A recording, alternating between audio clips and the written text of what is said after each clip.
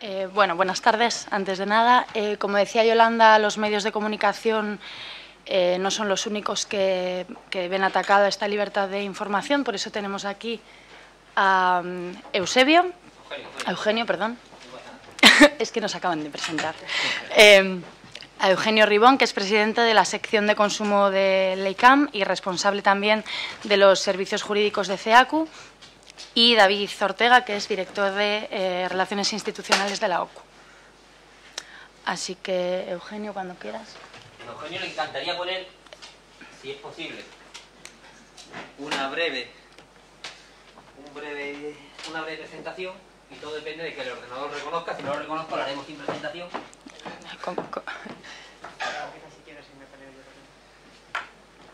Lo he puesto por detrás porque como delante no.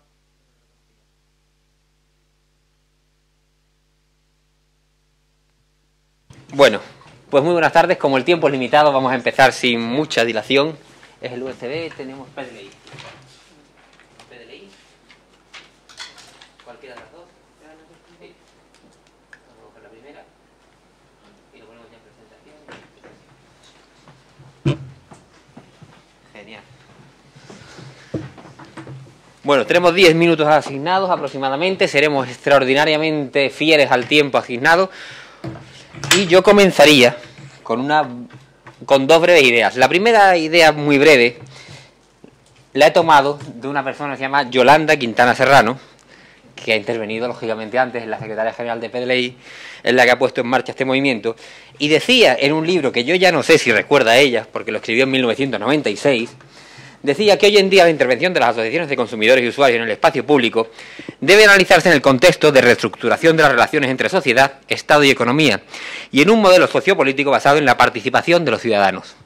Bueno, pues esto lo decía nuestra amiga Yolanda en el año 1996, estaba en el año 2014, fíjense si ha pasado tiempo, y sigue teniendo absoluta vigencia y renovada, y renovada actualidad, si acaso. Además de esto, hay dos circunstancias más que es el salto tecnológico que nos ha supuesto las nuevas tecnologías. Y me acuerdo también de otro amigo y profesor admirado que es Manuel Sánchez de Diego, que también le veo al fondo, que nos decía que nuevamente este salto iba a ser un poco más o menos de lo que era lo que habíamos encontrado desde la imprenta de Gutenberg a, a la actualidad, que era un salto prácticamente de una época medieval a una época futurista. Con todo esto, descendemos ya de modo directo en las amenazas al ejercicio de la libertad de expresión en los movimientos sociales. Y yo he tratado de sintetizar estas amenazas en cuatro puntos muy concretos para ser lo más sintético posible en el escaso tiempo que tenemos asignado. Comenzaría diciendo que el derecho a la información de los consumidores y usuarios es una premisa elemental para su defensa eficaz. Y es una premisa elemental no porque lo queramos señalar nosotros solos, sino porque es la piedra angular para el desarrollo de otros derechos, lo decía el profesor Berkovich cuando estaba hablando de los derechos de los consumidores ya hace muchísimos años. Decía, estos son derechos instrumentales para posibilitar el ejercicio de otros tantos derechos. El derecho a la información viene recogido en el primer programa preliminar del Consejo de la Comisión Europea de 1975, en el artículo 129 del Tratado de la Unión de Maastricht, posterior al 153 de Ámsterdam, en el artículo 235 de la Constitución Europea y de modo muy eh, singular viene recogido en nuestra Constitución. La Constitución española recoge el derecho a la información de los consumidores y, son, junto a la Constitución portuguesa en el artículo 76 y la Constitución polaca en el artículo 81, las únicas tres constituciones de la Unión Europea que recogen el derecho a la información de los consumidores como un derecho constitucional. En el caso de los consumidores y usuarios españoles, ha sido a su, vez mm, trasladado al artículo 8 del actual texto refundido de la Ley de Consumidores y Usuarios y se entiende que sin derecho a la información quiebran los demás derechos, porque es este principio para poder ejercitarlos. ¿Cuáles son los ataques que tenemos a la libertad de información de los consumidores? Voy a destacar cuatro ataques muy concretos. Vamos a ir pasando esto, que para eso lo hemos hecho en casa. Si no responde, lo pasaremos a mano. ¿Cuáles son esos cuatro ataques? Pues son, en primer lugar, las presiones políticas. En segundo lugar, las actuaciones legislativas, las demandas judiciales y las presiones a los medios de comunicación que sostenemos.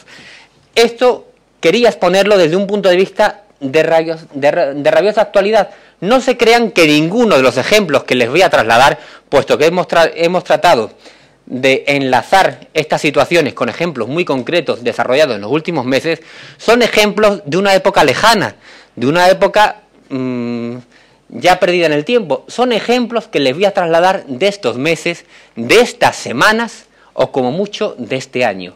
Fíjense ustedes que vivimos en diciembre del año 2014 y lo que van a ver ahora no es historia reciente, es actualidad de estos momentos. En primer lugar, presiones políticas. Tenemos dos casos. Si hablo, eh, si hablo alto me escuchan, ¿verdad? Nos sentaremos por el problema del streaming. Y En primer lugar, es el caso de CEACU con, con el arbitraje de las participaciones preferentes. Las, eh, las participaciones preferentes saben ustedes que es un problema que ha afectado una a una capa especialmente sensible de nuestra población. Estamos hablando de cerca de un 90% de los afectados que son nuestros mayores de 75 80, de 80 años.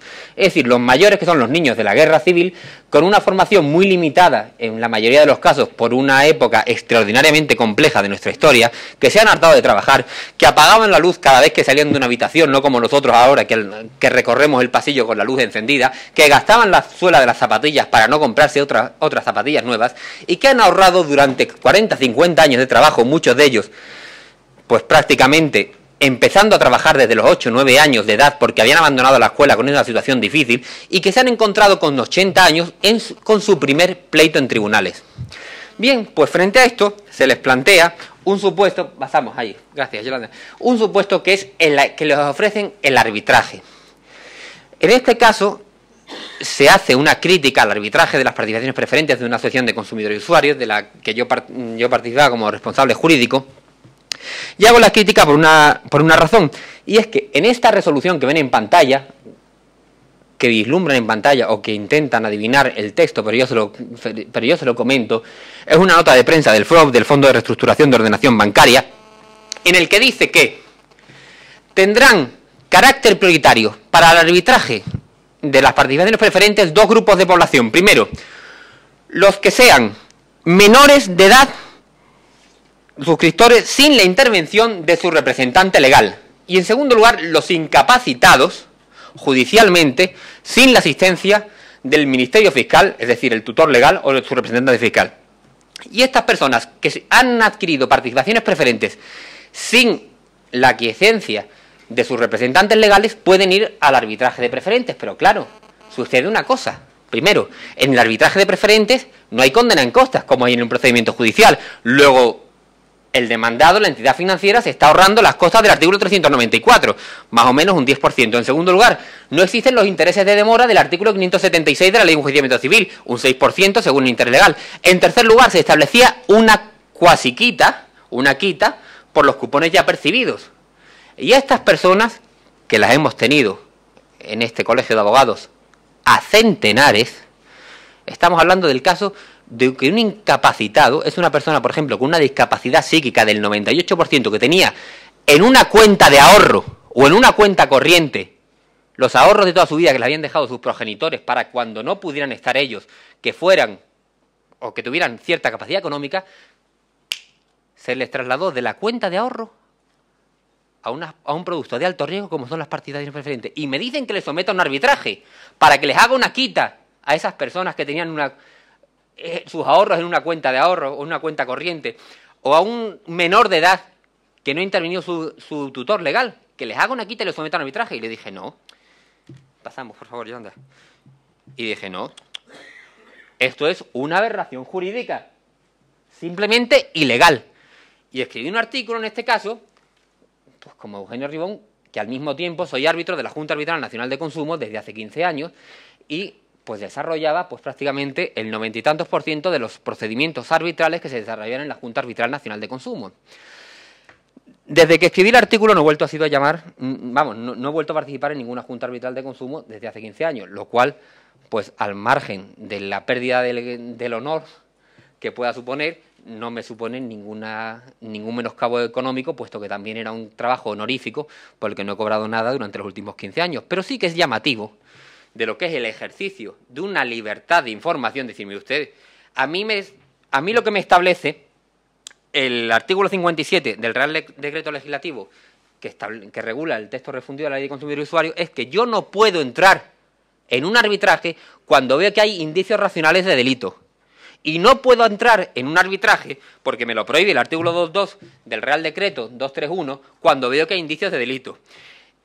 Y estas normas, ante cuando no está el representante legal de un discapacitado psíquico y le transforman sus ahorros en, un producto híbrido de alto riesgo, cuando menos me hacen sospechar la posible concurrencia de un delito de apropiación indebida o de estafa.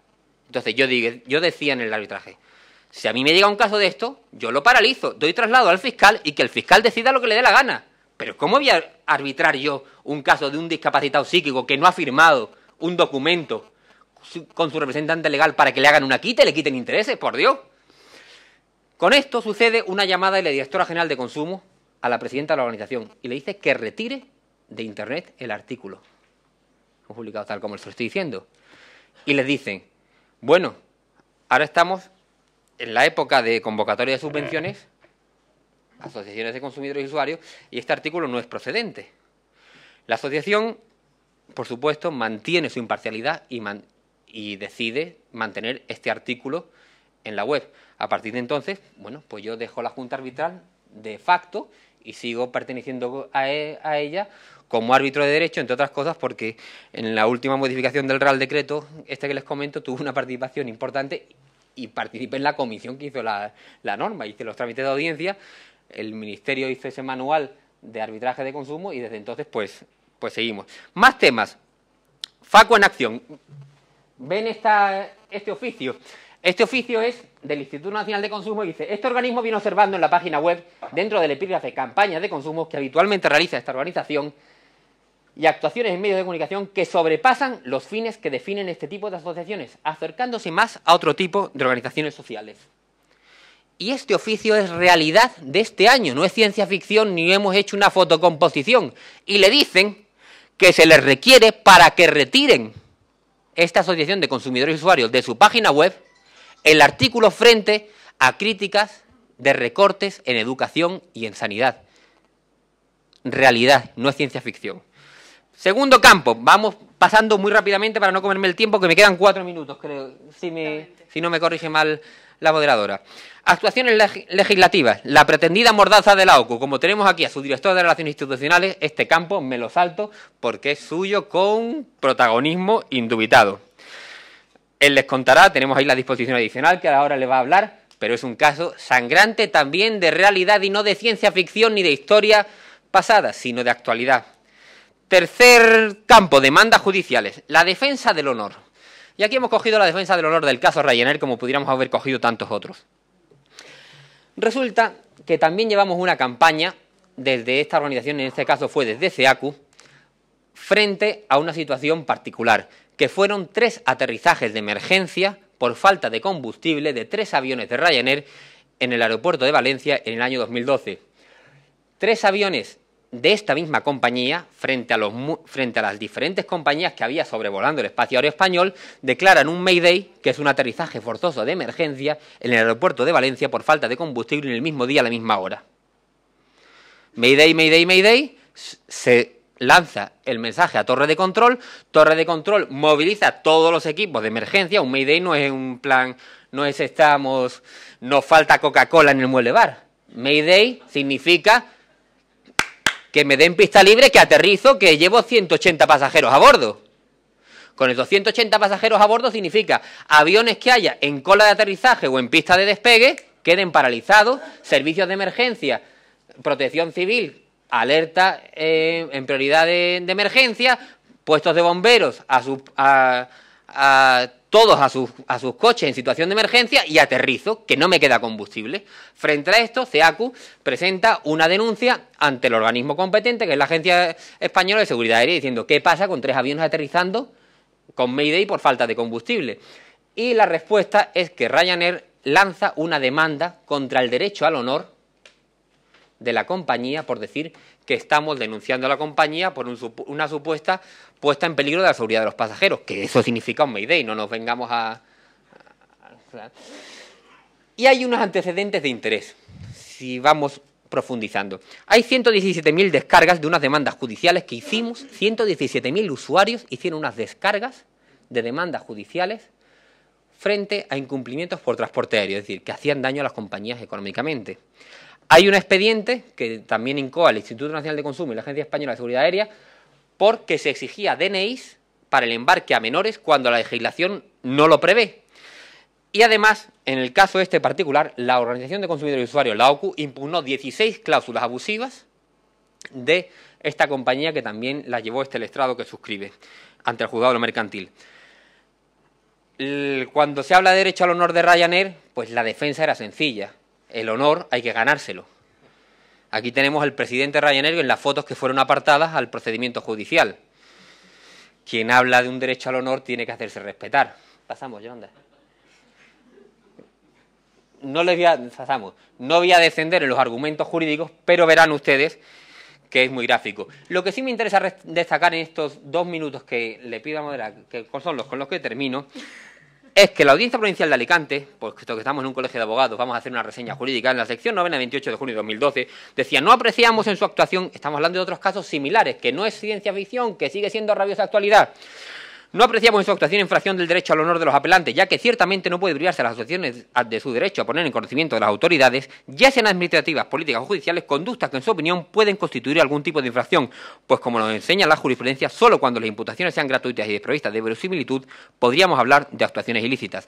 Y este tipo de demandas contra el honor por parte de empresas infractoras de los derechos de los consumidores y usuarios son corrientes. Aquí tenemos este otro ejemplo de la, de la Audiencia Provincial de Sevilla. Finalizamos señalando que el último de los ataques a la libertad de información por parte de las asociaciones de consumidores y usuarios también nos los encontramos de modo lastimoso en algunas veces en medios de comunicación cuando son los propios periodistas cuando nos cuando al transmitirles un hecho noticiable nos dicen es que esta entidad o esta, esta empresa contra la que nos lanza su crítica es accionista del medio.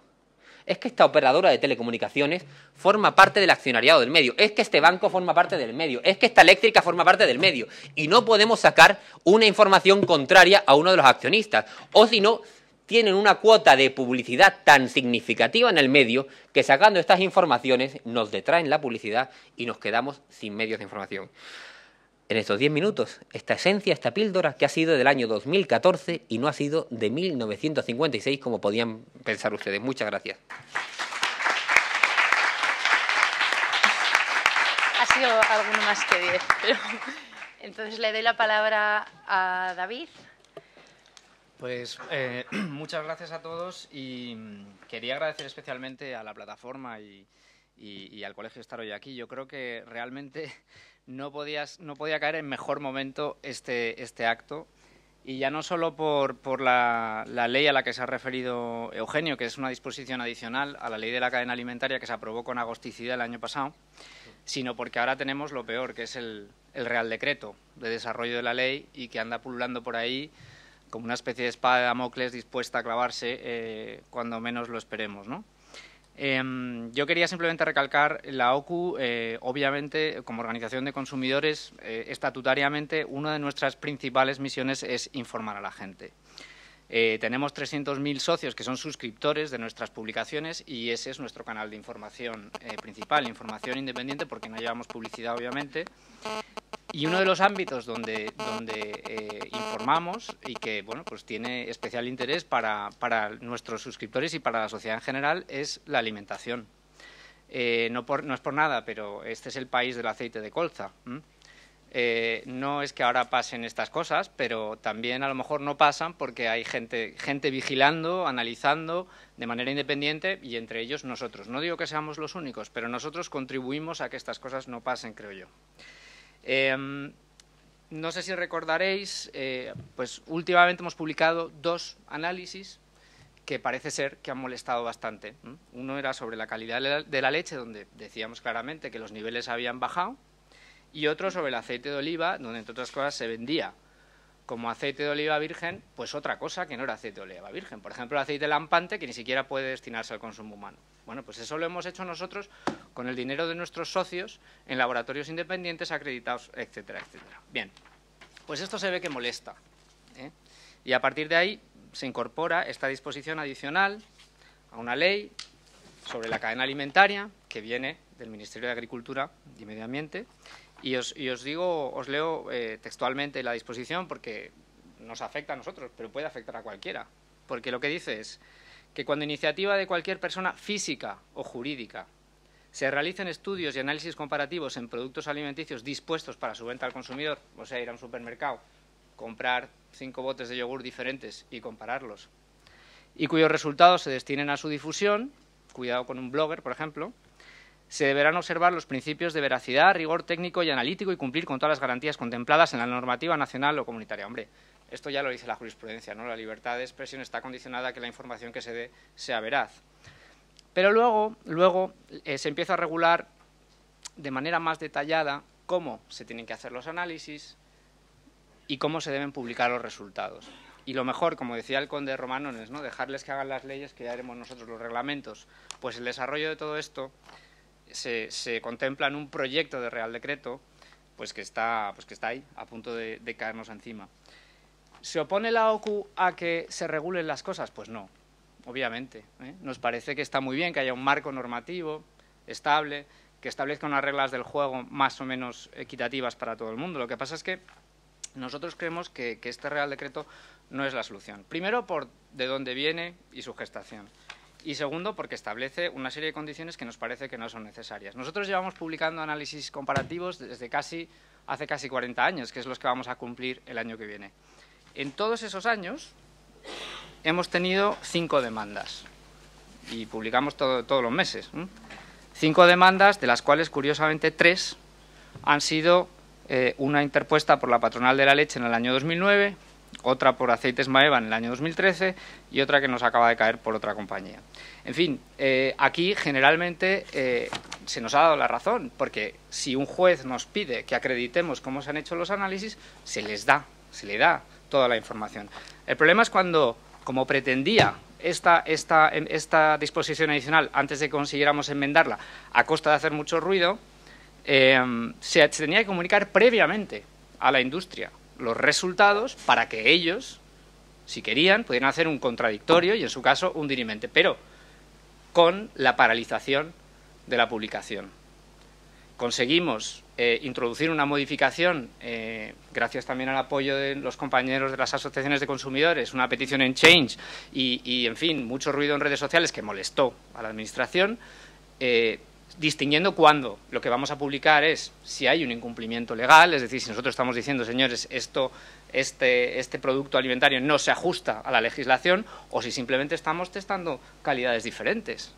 Conseguimos introducir esta modificación para modular el mensaje, pero eso no quiere decir que cuando, hay un, cuando nosotros detectemos un incumplimiento legal no se vayan a, aplicar todas esas cautelas que supone que introduce el reglamento. Yo no, voy a, no quiero entrar en todos los detalles del reglamento, que es muy técnico, pero vamos, básicamente lo que hace es imponer una serie de cargas en la recogida de muestras, en el análisis, en la conservación de los datos, y, para nosotros lo que supone lo peor de todo, y yo creo que aquí está la madre del cordero y donde lo, pelearemos, eh, se, obliga eh, eh, a comunicar, en cualquier caso, haya un cumplimiento legal o no, tenemos que comunicarle a la Administración la identidad del laboratorio en el cual hacemos los análisis. Yo no digo que esa información vaya a salir de donde sea, ¿vale? Pero la cuestión es que jamás hemos tenido que hacer esto. ¿Por qué? Porque es fundamental. Nosotros no podemos dar, si nos lo pide un juez se lo damos, obviamente, porque estamos obligados. Pero no se lo podemos dar a cualquiera, porque es evidente que esos laboratorios no viven del trabajo de la OCU, viven del trabajo que les encarga la industria. Y si mañana eh, eh, resulta que el fabricante de turno les llama y dice, oye, mira, que nos hemos enterado que haces análisis comparativos para la OCU, vas a dejar de hacer los nuestros, pues quiebra. Em, además os puedo decir que en determinados ámbitos los laboratorios acreditados no son 50, hay uno, uno en toda España. Entonces es evidente que tenemos que, intentar eh, salvaguardar la confidencialidad. Yo sinceramente, eh, como digo, esto está aquí, está abierto, estamos eh, esperando em, a ver qué pasa. Vamos a intentar todo lo posible, movilizándonos a todos los niveles, porque ya no solo que esto sea un precedente en España, claro, cuando le contamos esto a, a nuestros compañeros de por ahí fuera, alucinan, ¿no? Pero es que hoy es en alimentación, pero mañana a lo mejor será cuando analicemos un producto cosmético, o como nos ha dicho hoy un ayuntamiento que no voy a nombrar en un análisis de calidad del agua, pues lo mismo, que le demos el, nombre del laboratorio, que van a hablar ellos a ver con el laboratorio. Eh, yo creo que es, en fin, es un, quizás un aspecto muy particular de todo lo que estamos hablando, pero que afecta directamente a, una, a un derecho a una información que nosotros entendemos que es independiente y con unas garantías que en caso de que uno no esté de acuerdo se puede ir a un juez a, ponerlas en cuestión y que realmente, pues eso, sienta un precedente eh, muy preocupante.